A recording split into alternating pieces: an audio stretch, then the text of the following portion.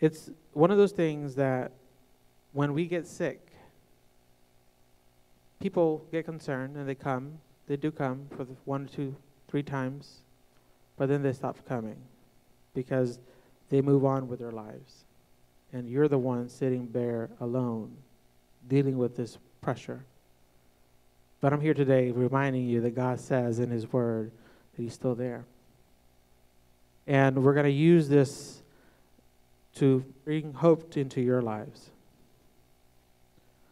I got this message and I and I received it. Um, I received the, the totality of this message at the funeral for that pastor's wife, with her children consoling them. And in this ministry, you don't get this in a seminary. You get this in a cemetery. The moment you are in a cemetery, that's the moment that it hits you. And you say, oh, wow. So, no college could prepare you for this, no degrees could get you there. And it's usually your friends and family who, during this season, they say the things that don't really encourage you, and you feel hurt. You feel like they, they are the ones that should have your back. They are the ones that should be protecting you. But God is still there. He's still there. I want us to reflect and just hold on to those things. What did Job say to his wife? That's, my, that's a question I have in my mind right now. I want to figure out what did Job say to his wife? Because you know how we will react. We'll probably lash out to the wives and say some some hurtful things and some things that because you know we know what we know the buttons to press when we are hurting. So let's see what Job says. So God is God is using this scripture to speak to you so you can realign yourself with the scriptures. And how are you supposed to react? So let's go ahead and see. Let's go, let's go back to that scenario. Let's go back to that realm of that story where Job is talking. And I imagine that he's still on his knees. Because if he has boils on his feet and all over his body, he really can't. There's no other place that he can bring comfort to. So his knees is the best place because he's closer to God when he's on his knees. So I can imagine his wife probably over here around him. You speak as one of the foolish women speaks. Shall we indeed accept good from God, and shall we not accept adversity? He asks her a question. I'm known for a person to be rhetorical. I like to ask a question when I'm when I'm perplexed a little bit. I ask a question just to get them stumbling a little bit. But Job had a good had a good point. Let's look at his question that he poses to his wife. Shall we indeed accept good from God and shall we not accept adversity? We want all the good things. We want the house. We want the cars. We want fame. We want money. We want our children to have the latest things, the latest phones, the latest gadgets. But the moment that the moment that fence falls, I'm going to stop coming to church.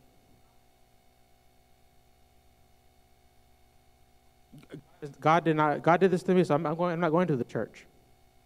He allowed this to happen to me, so I get vengeful with God. And just like his wife, curse God and die. I'm here to hear today. If you're here today, this message is for you. So you can preach it. I know our, when I preach to the youth, I know that that pastor's wife when I was, I was about their age when I was under her wings. And this pastor's wife taught me how to pray, taught me how to fast, how to war in the spirit. So I know that this is a time that our youth need to hear this. That good things happen as well as bad things, but we should always praise God in the midst of everything. So he told his wife, he instructed his wife, don't just take the good and leave the bad and say, God, um, if you do this for me, I will do I will do that. But the moment you don't do it for me, I'm gonna stop just I'm gonna stop being spiritual, I'm gonna stop praying, I'm gonna stop reading the word. I'm just gonna be uh, clearly you didn't work, so I'm gonna go here and, and find something else in the world. Listen, God is here and He wants this to be ingrained in your lives. Don't curse God and don't die. So we have we have those things. And he is giving us a, a glimpse of his life. Job is there as representing our lives because he was minding his business and yet things these things happened the fence broke i know that the fence means a lot to a lot of people. And the fence when it falls we're subjected to a lot of things.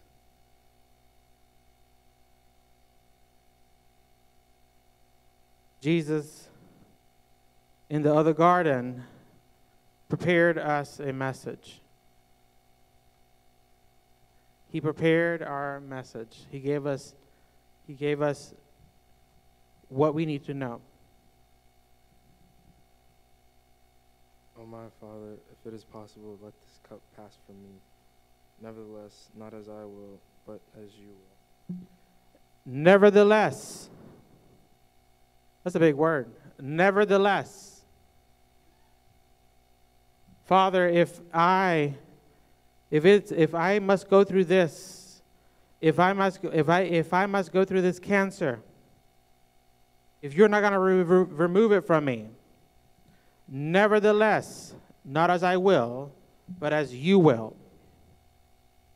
God, if if you're not going to restore my children or my belongings or my possessions, nevertheless, not as I will, but as you will if I am never going to get through this depression, nevertheless, not as I will, but as you will. God is here speaking, and He wants us as a church to remember this ministry. Don't neglect this ministry of suffering. And we as leaders are going to teach you guys how to endure the good fight. It's not about age. I have learned a lot from our, our youth. So just be open to the Holy Spirit to speak to you. And I can see myself. I can see myself in this in this story. How would I react? Do I run and give up quickly? The moment it gets tough, I want to just give up. The moment I don't get what I, what I want, I just give up on God. Job was a good example, but he wasn't enough. That's why Jesus came.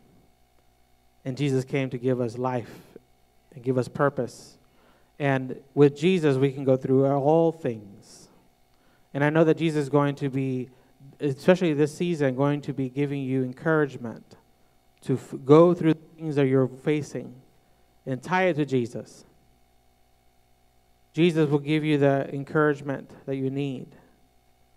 Job still had to repent. He still had to um, and and we did, we're not going to go deeper into Job, but we're going to, if I were to give you a summary or a snippet, Job's friends come and they have this dialogue with Job. Nothing, nothing like good friends that come in and say, "Oh yeah, it's, it's your Christian walk that needs to be repaired." You know, some people some people come and doubt your faith. You know, it's like, "Oh, you're not doing good enough. Oh, you need to do better than that. Oh, this and that." But but then wait wait wait, How, who are you? So I, I think I think sometimes it's important for us to not always depend on our friends to give us our destiny. The friends cannot see where you're going. They don't see the things that God has in store for you. So his dialogue with his friends, he goes back and forth, and the, the friends all end up saying it's his fault. If I, if I were to summarize that whole dialogue, they say it's your fault, Job, and you're the one uh, that if you would have done it better, maybe you curse, maybe you maybe you sin, maybe your parents sin, and you this is your consequence. But then Job 42. Let me give her some time up there too. Job 42.